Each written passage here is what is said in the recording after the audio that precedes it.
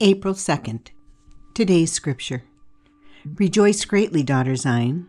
Shout, daughter Jerusalem. See, your king comes to you, righteous and victorious, lowly and riding on a donkey, on a colt, the foal of a donkey. Zechariah 9, verse 9, the New International Version.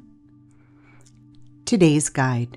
When preparing for today, think about the following Jesus is willing to help carry our burden with us so we don't have to bear its weight alone. Food for thought.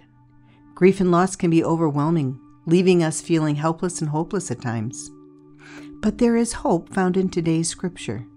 This scripture speaks of a king who comes to bring justice and peace with him, arriving lowly on a donkey. It reminds us that we are not alone in our struggles, but have a loving king who understands our pain and will come to redeem it. The imagery of this scripture gives us comfort by visualizing God as someone who humbles himself to meet us where we are, even if that means traveling slowly on an animal like a donkey or a colt to get there. This image of Christ brings solace during times of grief because it tells us that he cares so much for his people that he would go out of his way to reach them, no matter how difficult their circumstances may be. Jesus' willingness to come close shows his love for those suffering from any kind of loss. He is willing to help carry the burden with them so they don't have to bear its weight alone.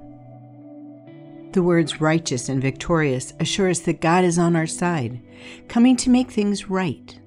We have hope that justice will be served and renewal will come from our losses. Knowing this can help us to endure the pain of sorrow trusting in the better future, even if we can't yet see it. This verse inspires us with courage as it points out that despite all hardship, God still comes as a king to bring peace and restore what has been lost. Gratitude. Practicing gratitude helps us to remember the blessings that we have been given and to appreciate those things, no matter how small they may seem. A grateful heart can open up so many doors and bring joy into our lives as well as others. When we take the time to recognize all that we are grateful for, it not only brings peace to our souls, but also reminds us of God's grace and love towards us. Today, what or who do you have to be thankful for? Tip A grateful heart doesn't just benefit us, but others too.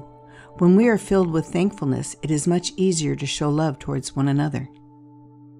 Today's prayer Lord, you rode into the city humbly on a colt, a donkey, the lowliest of the low, to the cheers of thousands who thought you would free them from Roman control. Your plan was far more significant.